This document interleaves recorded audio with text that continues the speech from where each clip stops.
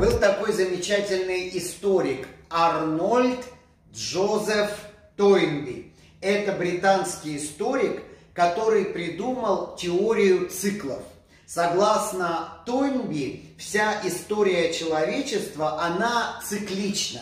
И зная начальную точку цикла, можно с уверенностью делать прогнозы на будущее. Когда-то, много лет тому назад, в школе научной астрологии было проведено исследование о циклах в истории России. Тойнби утверждал, что один шаг истории составляет 108 лет. 108 лет – это 9 циклов Юпитера.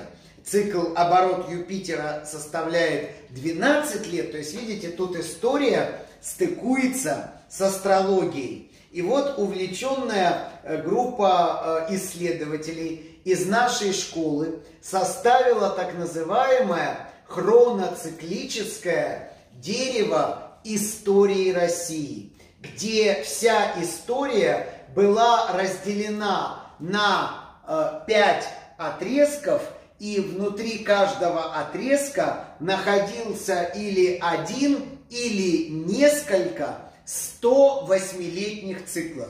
Давайте проследим а, и посмотрим, каким выводом приведет нас хроноциклическое дерево истории России. Я повторюсь, что э, Тойнби соединял э, историю и астрологию. Но он не называл это астрологией, он говорил о циклах.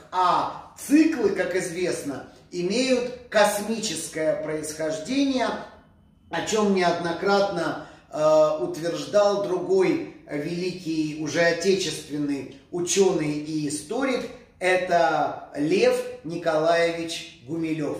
108 лет или 9 оборотов Юпитера.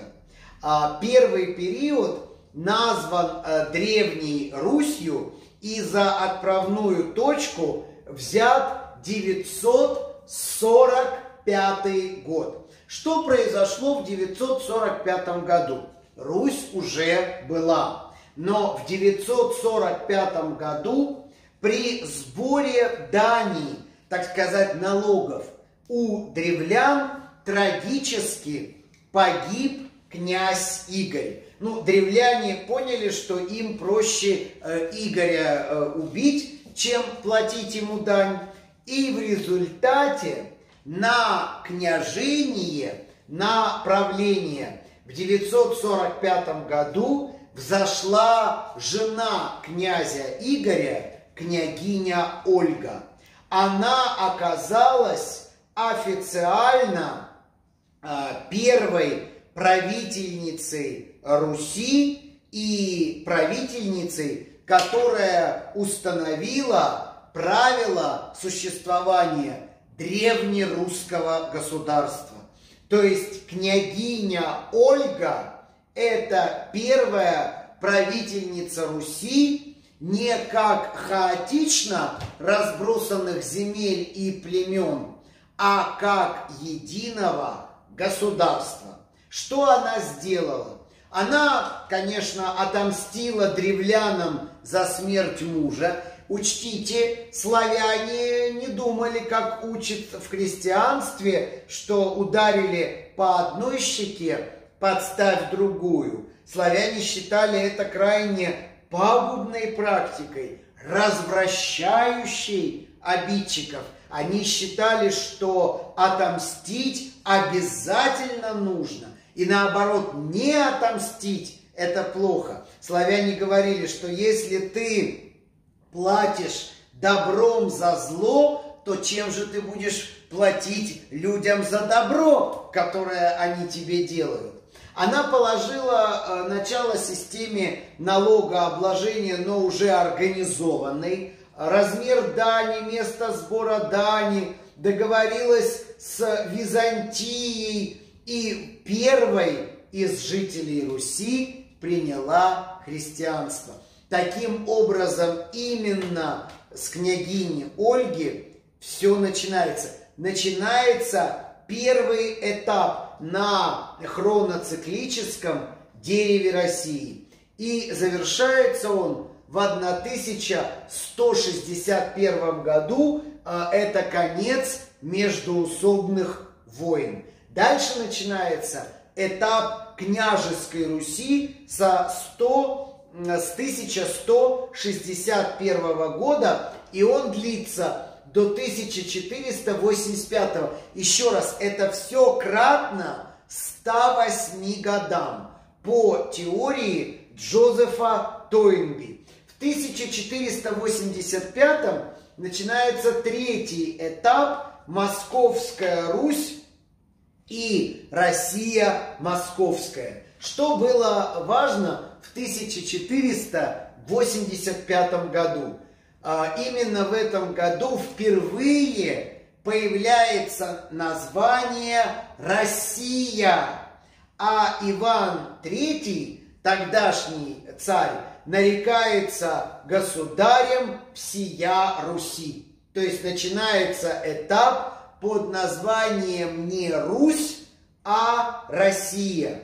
В 1485 году не только появляется название Россия, но и появляется герб в виде двуглавого орла. Иоанн III вступает в брак с Софией Палеолог и соединяет Георгия Победоносца с двуглавым орлом Византийской э, империи. Окружает себя блеском и роскошью, поэтому вы не ругайте наших нынешних правителей России за блеск, роскошь и э, тысячи квадратных метров в их э, э, имениях, загородных в элитных местах и парковых зонах. Это так еще пошло от э, Иоанна Третьего. Жить в роскоши. Ну, так сказать, по контрасту с Сатурном.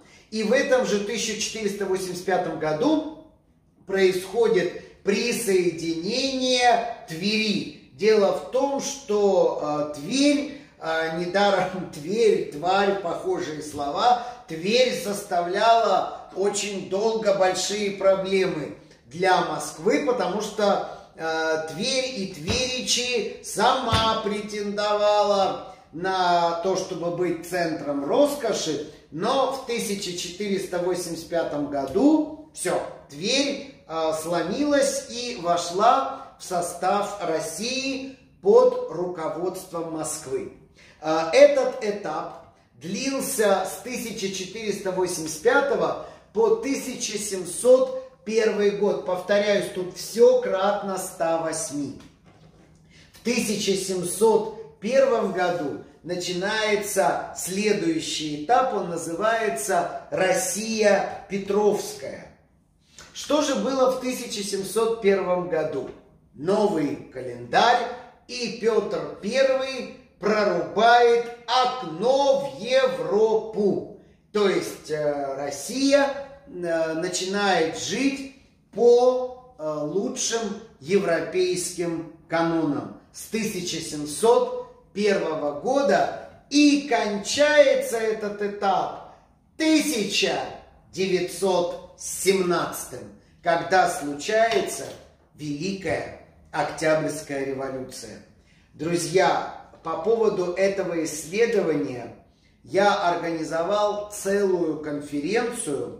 Она проходила непосредственно в стенах нашей школы весной, э, вы не поверите, 1998 года. Это было 22 года тому назад. На конференции присутствовали сотрудники и выступали исторического факультета МГУ имени Ломоносова.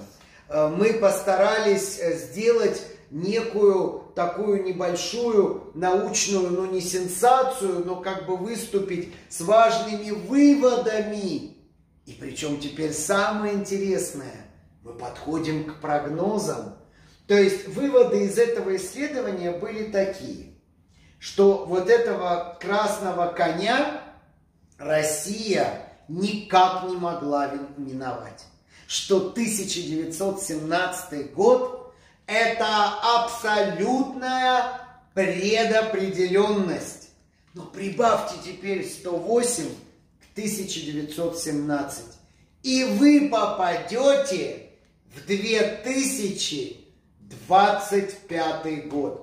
Вот те, кто меня сейчас смотрит и кто был слушателем нашей школы, этот период называется Россия советская и постсоветская. Те знают, сколько раз я э, журил наших прогульщиков и малохожденцев за то, что они не посещают занятия, потому что я говорил, приближается историческая точка.